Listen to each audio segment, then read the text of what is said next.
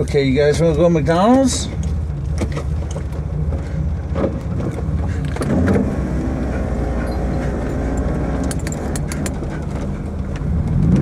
McDonald's. Get some good podcasting going, hopefully.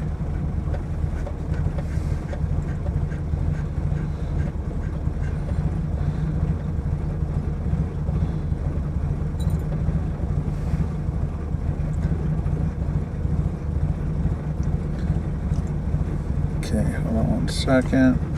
You girls want to go? Hold on.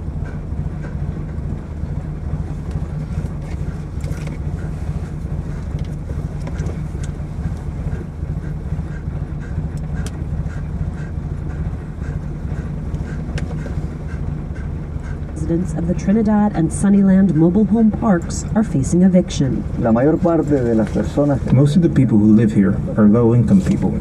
Luis Vindel has lived here for 22 years. Like most residents, he owns his mobile home but rents the land beneath it.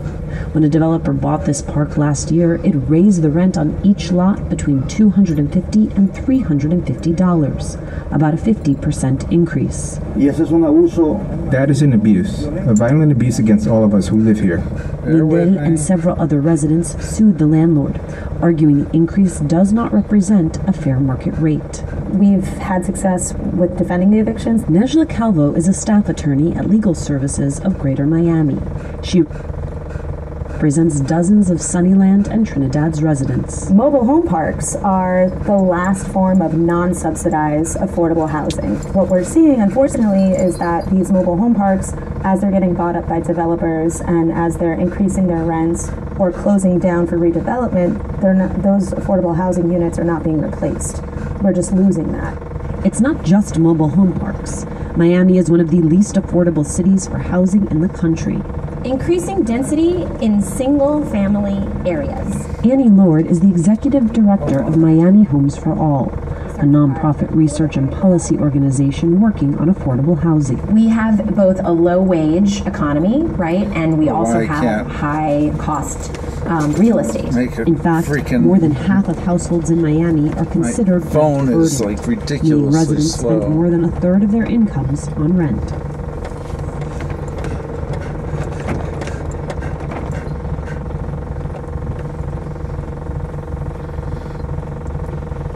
On my way now for lunch. Period. Where do you want to meet? Question mark.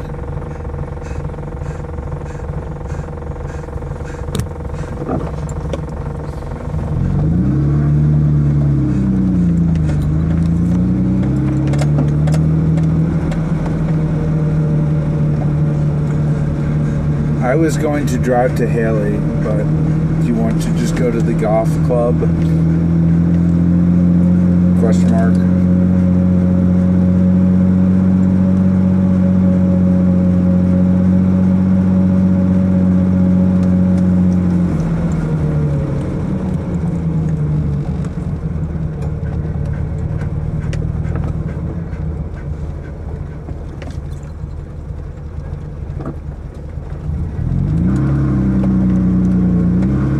My way.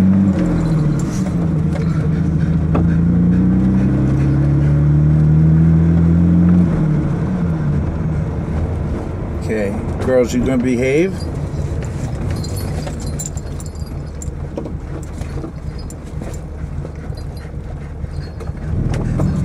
Go. Okay.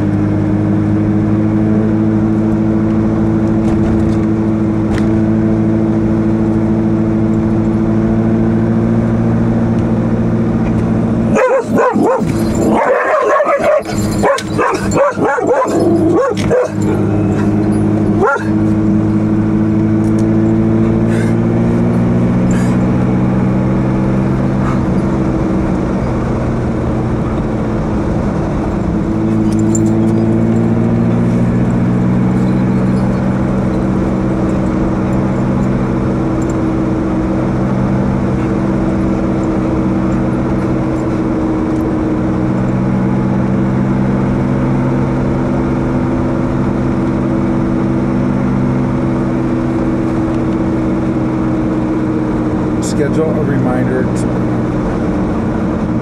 schedule a reminder tomorrow at noon to figure out how many people purchased from the trunk show and the total percentages and, and amount.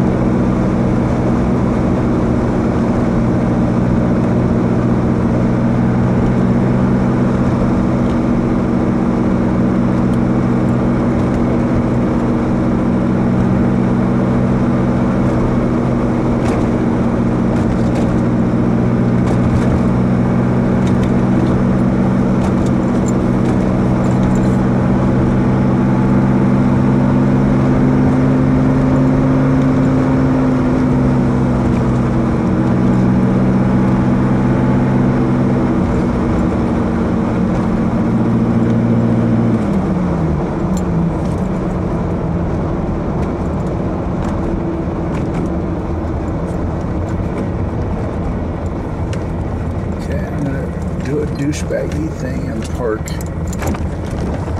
in the fire lane so people can see you guys.